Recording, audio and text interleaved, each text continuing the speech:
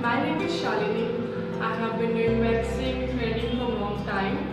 I came to know about Dr. Nivedita Dadu's clinic. I consulted her for hair reduction. She guided me to a permanent solution using lasers. I have taken few sessions of laser hair reduction.